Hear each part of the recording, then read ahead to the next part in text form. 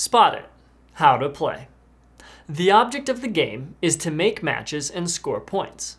Players find the matching symbols between two cards. A match must have the same shape and the same color. Only the size may be different. There are five different mini games you can play. Version 2 The Well. Place one card face up in the middle of the table.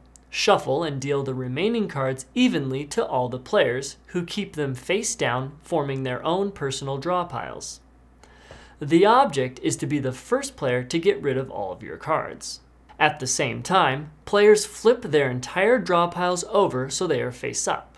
If you are the first player to spot the identical symbol on both your top card and the center card, call it out and place your card on top of the center card.